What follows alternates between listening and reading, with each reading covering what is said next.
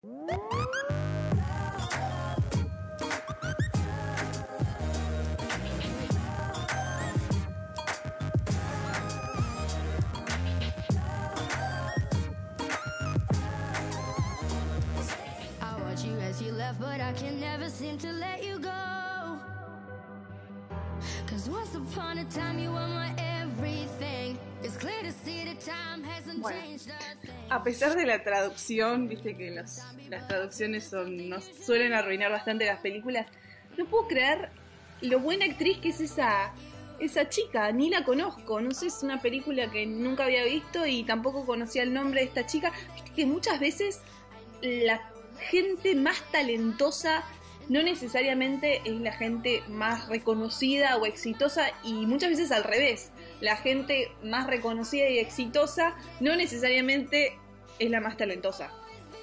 ¿Por qué es eso? Con mis entrevistados de hoy, que ya vas a saber quiénes son, vamos a reflexionar sobre esto. ¿Cuáles son las condiciones o las actitudes que nosotros tenemos que tomar para ir por nuestros objetivos y que muchas veces van más allá del talento o no que tengamos.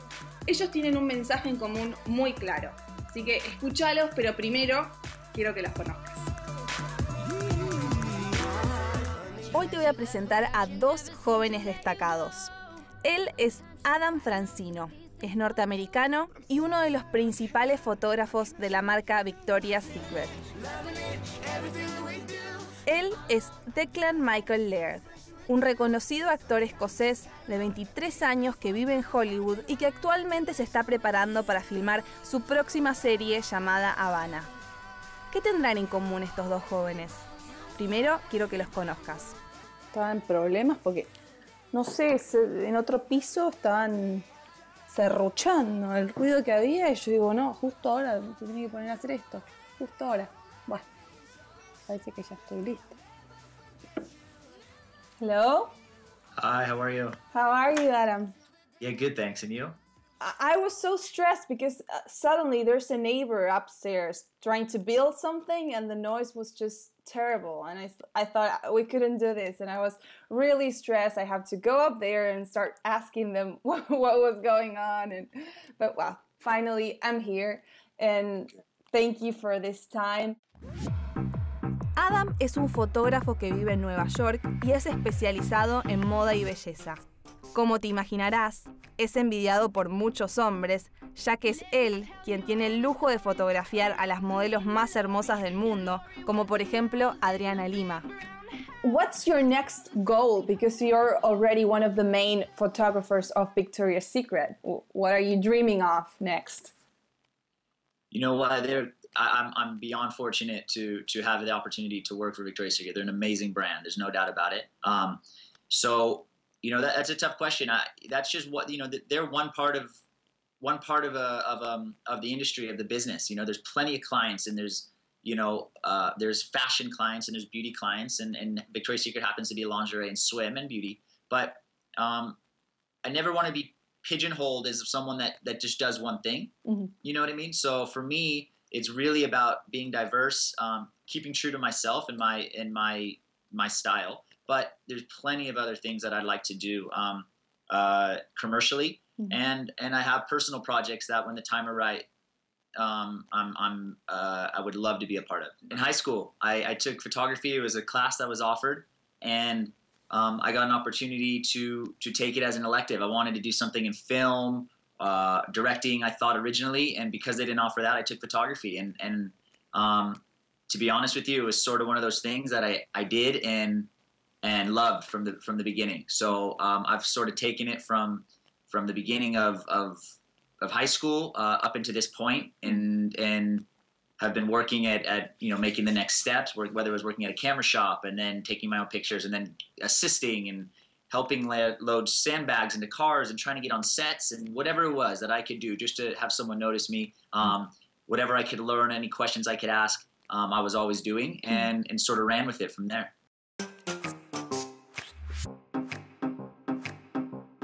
Acabo de llegar eh, a esta castinera. Yo tenía muchas ganas de venir porque te quiero mostrar lo que es estar en un casting. ¿Qué, te hacen hacer? ¿Qué te piden?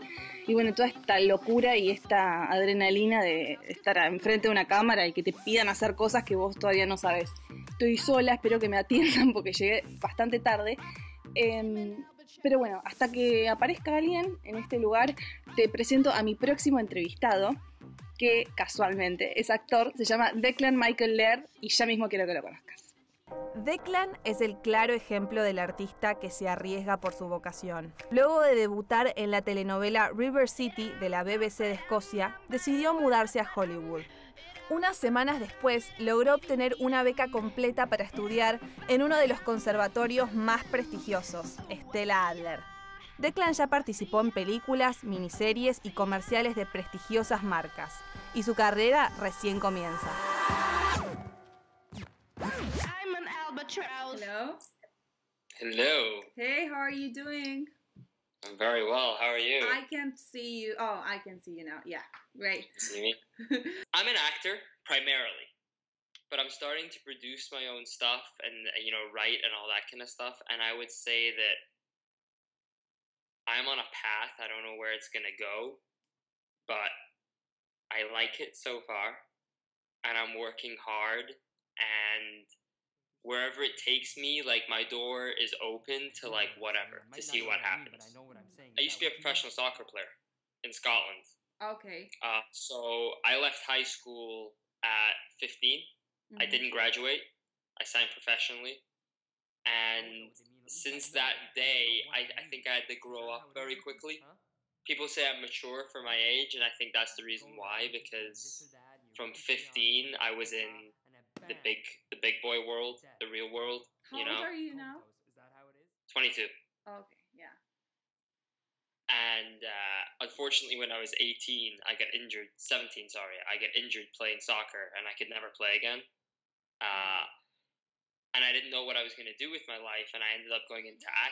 Buscamos actrices entre 18 y 25, las más cools y mandadas, cortes de pelo copados, hipsters, estilo Nueva York y skater. Cools y mandadas.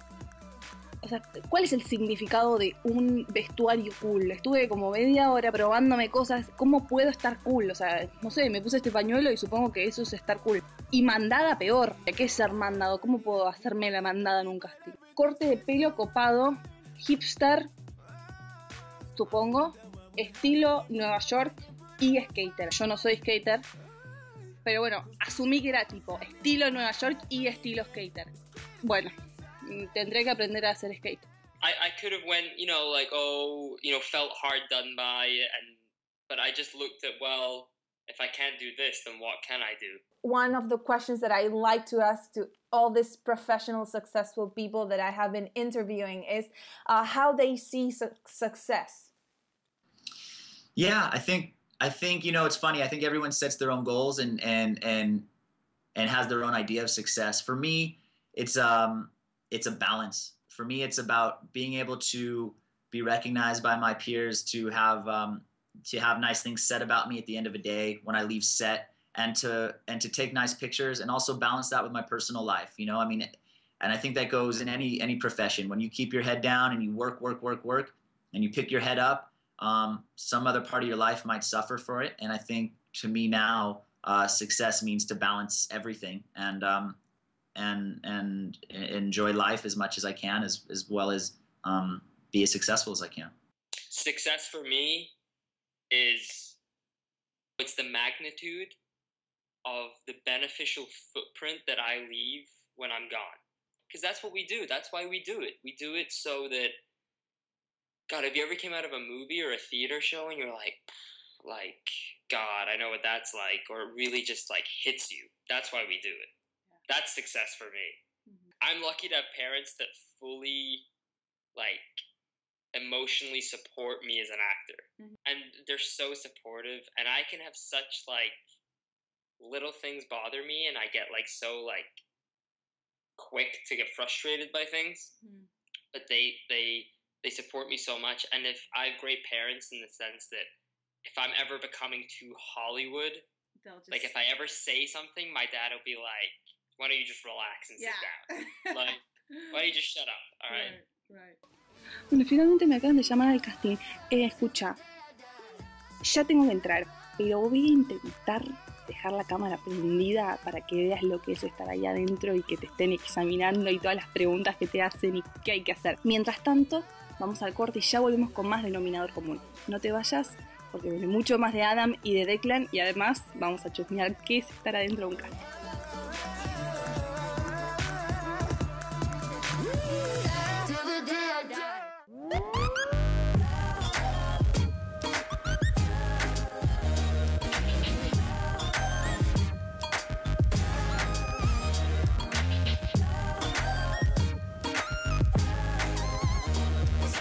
Dos jóvenes destacados.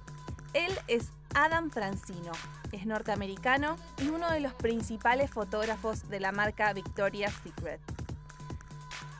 Él es Declan Michael Laird, un reconocido actor escocés de 23 años que vive en Hollywood y que actualmente se está preparando para filmar su próxima serie llamada Havana.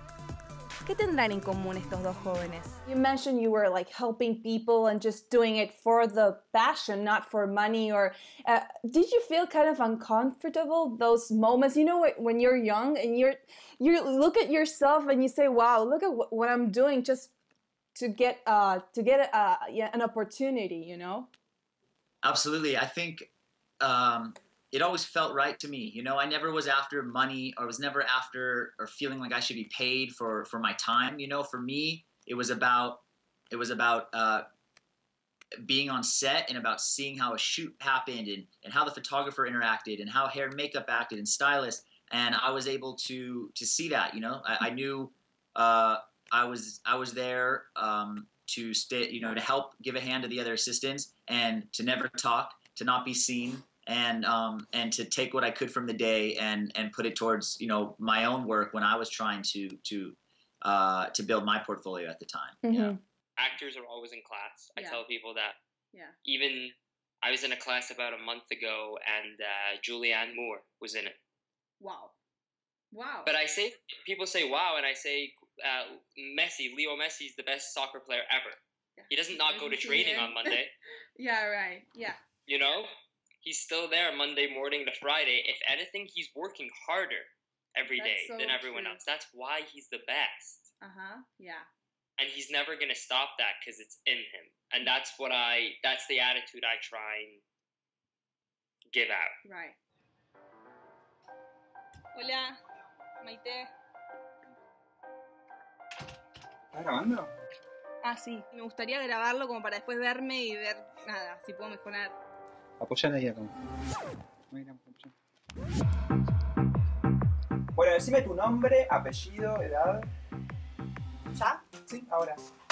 Bueno, soy Maite Pisquinar, tengo 24 años. Mirá la cámara, por favor. Bueno, soy Maite Pisquinar, tengo 24 años y soy actriz. Me gusta mucho entrevistar gente. Entrevisto gente de todo el mundo. Perfecto. ¿Y hace cuánto haces skate? Yo no soy skater. Kate. O sea, lo decís por la, el mail. Claro. Que lo que pasa es que estaba medio complicado, te digo. Gente cool, me vine bastante como. Traté de ser lo más cool del mundo, estilo Nueva York y skater. Yo pensé que era como el estilo Nueva York y estilo skater, pero no pensé que era tipo que seas efectivamente un skater. ¿Qué hago? ¿Hago el casting o no?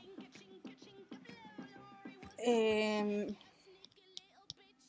¿Sabes qué? Lo voy a hacer.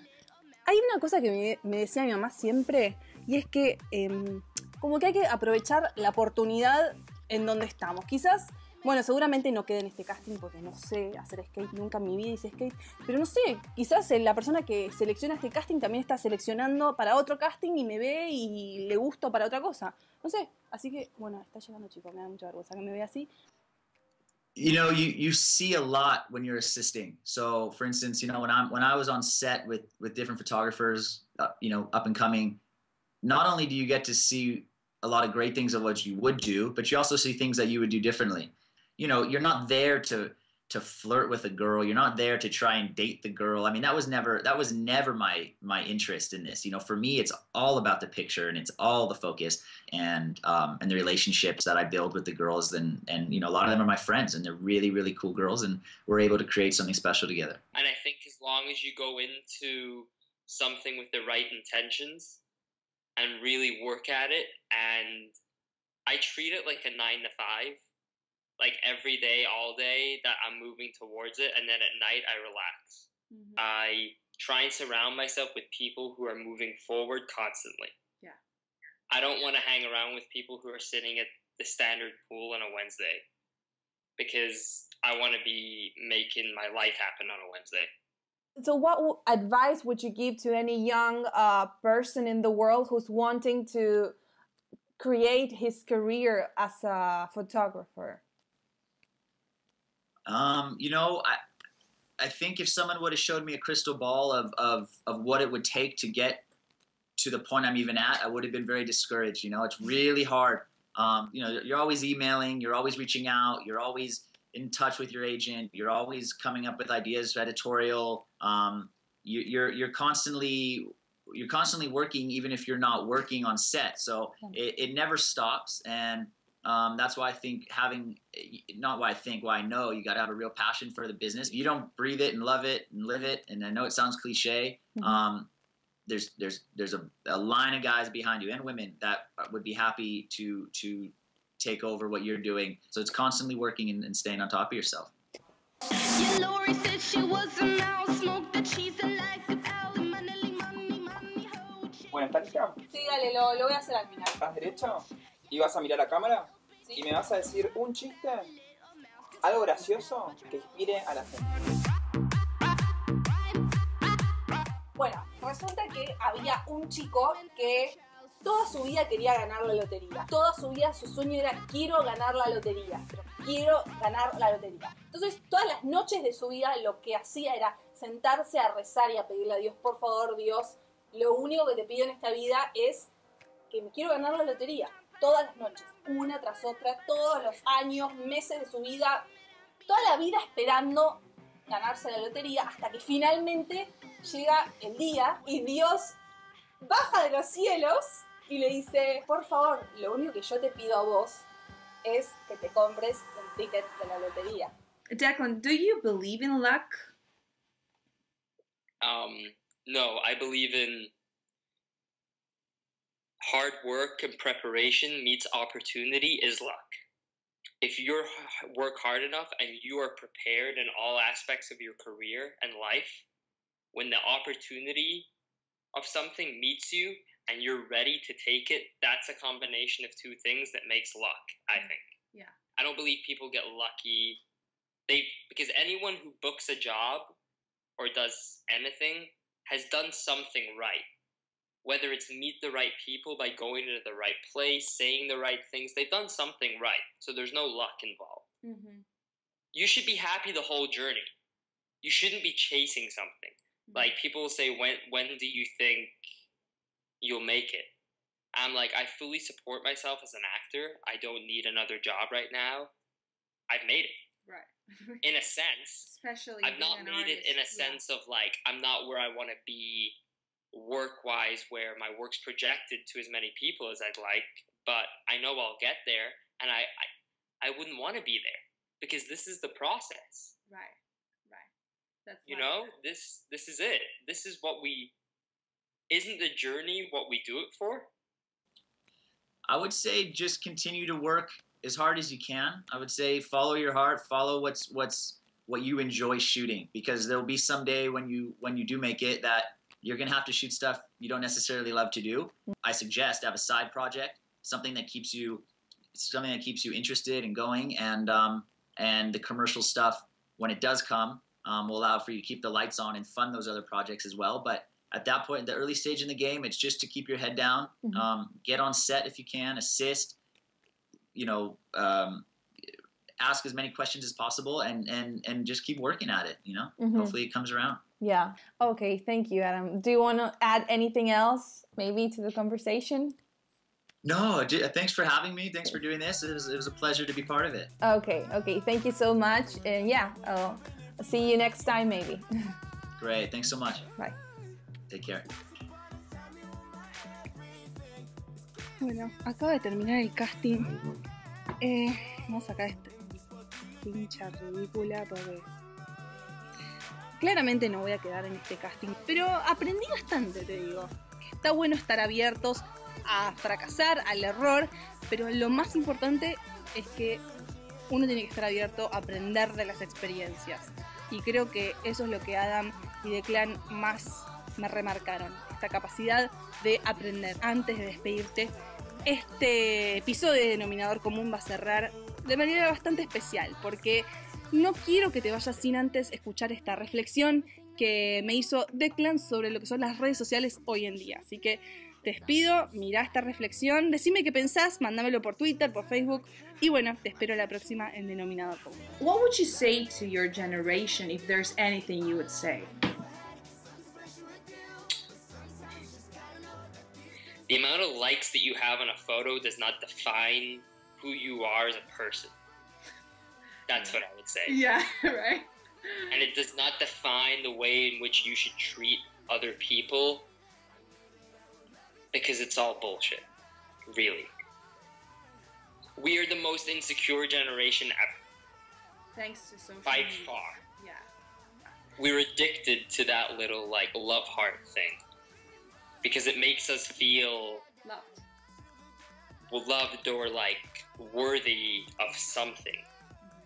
But you've got to know that if you you'll only ever be happy when you're either doing what you love or moving towards a goal that you know you'll get to. Y la semana que viene te voy a presentar a dos jóvenes que a simple vista no tienen nada en común. Andrew Morgan es norteamericano y un conocido director de cine. Aras Asadian es iraní y un exitoso empresario que reside en Canadá. ¿Qué tendrán en común? Te espero la próxima para que juntos descubramos el denominador común.